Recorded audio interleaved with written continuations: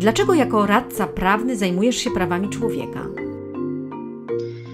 Hmm, dlaczego zajmuję się sprawami dotyczącymi praw człowieka, czy w moim przypadku to głównie prawem pracy i e, sprawami z zakresu dyskryminacji?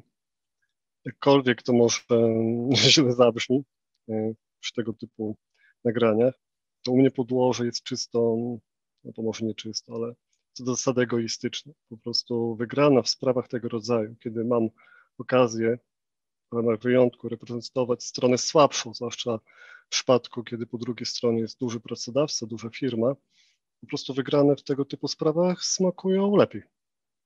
E, dodatkowo w człowieku, i to każdym, mam wrażenie, niekoniecznie prawniku, e, w pewnym czasie ujawnia się taka potrzeba robienia rzeczy pożytecznych w jakimś takim większym znaczeniu czy większym sensie. Ta potrzeba ujawnia się najczęściej również z biegiem lat. I taka działalność pro bono, działalność e, w tego typu sprawach, no świetnie tą potrzebę realizuje. Bo nie oszukujmy się, ta praca codzienna oczywiście jest bardzo ważna, jest świetna, również w korporacjach, reprezentowanie firm w skomplikowanych sprawach, doradzanie.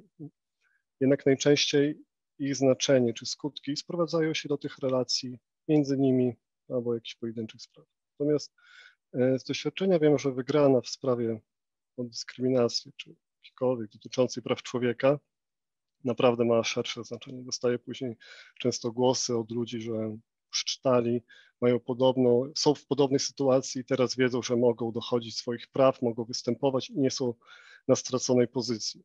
Kiedyś się spotkałem z takim e, dobrym cytatem. To dotyczyło adwokatury, ale myślę, że można to odnieść do wszystkich prawników, e, że prawnik, adwokat powinien w pierwszej kolejności udzielać pomocy prawnej, a dopiero później usług prawnych.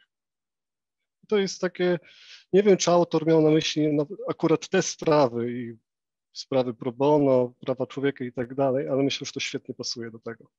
E, więc y, w momencie, kiedy zapominamy, to trochę mijamy się być może z celem tego zawodu. Bądź jak Hubert.